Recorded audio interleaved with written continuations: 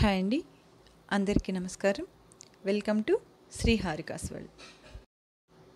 ఈ వీడియోలో మనం సింపుల్గా పనీర్ బుజ్జి ఎలా తయారు చేయాలో తెలుసుకుందాం. దానికి కావాల్సిన పదార్థాలు పావు కిలో ఉల్లిపాయలు పావు కిలో టమాటో ఒక వంద గ్రాముల క్యాప్సికమ్ ఒక వంద గ్రాముల పన్నీర్ నాలుగు పచ్చిమిర్చి కొద్దిగా కొత్తిమీర. ముందుగా టమాటోలు ఉల్లిపాయ క్యాప్సికం పచ్చిమిర్చి తరిగి ఉంచుకోవాలి. పన్నీరు తురుముకొని ఉంచుకోవాలి. బాణల్లో కొద్దిగా నూనె తీసుకొని వేడయ్యాక అందులో జీలకర్ర మాత్రమే పోపుకు వేసుకోవాలండి.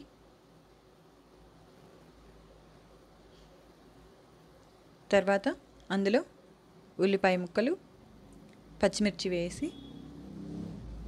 ఉల్లిపాయలు దోరక వేగేలాగా వేయించుకోవాలి.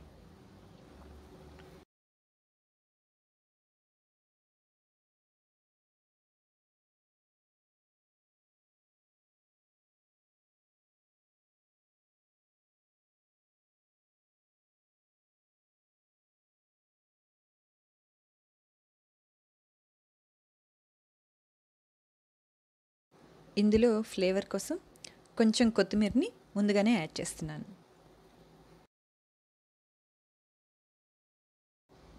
ఉల్లిపాయ ముక్కలు దోరగా వేగాక అందులో క్యాప్సికమ్ ముక్కలు వేసి బాగా కలుపుకొని తర్వాత టొమాటో ముక్కలు కూడా కలపాలి.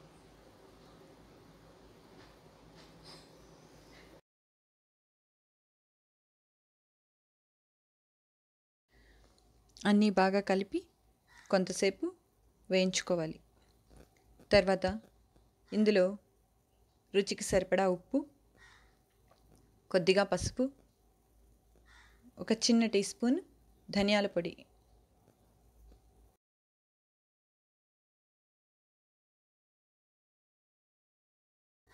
కొద్దిగా గరం మసాలా వేసి ఇంకాసేపు వేగనివ్వాలి. ఇంకా స్పైసీగా కావాలనుకునేవాళ్ళు ఇంకొంచెం కారం కూడా వేసుకోవచ్చు.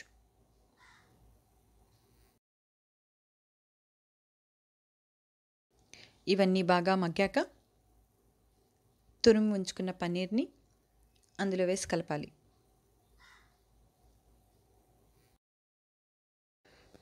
పన్నీర్ తురుము వేసుకున్నాక ఎక్కువసేపు మగ్గనివ్వక్కర్లేదు.